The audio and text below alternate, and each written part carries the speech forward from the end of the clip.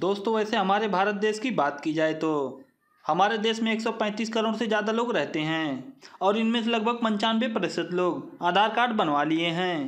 लेकिन दोस्तों, क्या आपको पता है, पहला आधार कार्ड किसने बनवाया? शायद आपको पता नहीं होगा। तो चलिए आज मैं आपको बताता हूँ। भारत का पहला आधार कार्ड बनाने वाला कोई आदमी नहीं है, बल्कि एक महिला है और इनका नाम रंजना सोनवा है और यह जहाँ पर रहती हैं पुणे से लगभग सैंतालीस किलोमीटर लंबा है और इन्होंने साल 2010 में अपना आधार कार्ड बनवा लिया था। और तब इन्हें ऐसा लग रहा था कि इसे बनवाने से इनकी ज़िंदगी में कुछ बदलाव आ जाएगा, लेकिन ऐसा कुछ भी नहीं हुआ।